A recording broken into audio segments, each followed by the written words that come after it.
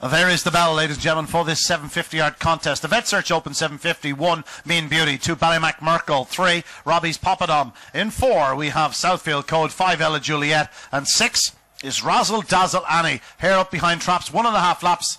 Racing, good start by Trap one up the inside. That is Mean Beauty. Trap three, Robbie's on left an absolute mile. Clearly something amiss with him, but out front, and it is Trap five, Ela Juliet with six now challenging. Razldazl Annie hits the front. It's Razldazl Annie, but here comes four. Southfield Code on the outside, showing big speed to challenge. Out front, now two. Ballymac Merkle goes through on the inside. Four Southfield Code on the outside. Between the big two in the market, Ballymac Merkle, four Southfield Code. Then comes six and third. That is Razzle Dazzlani, one Mean Beauty, starting to finish well, back in third. But out front, it's Ballymac Merkle and Southfield Code between these two. Bit of bumping up front. Ballymac Merkle, Southfield Code getting on top. Southfield Code will win from two Ballymac Merkle and one Mean Beauty. The winning time 41 60.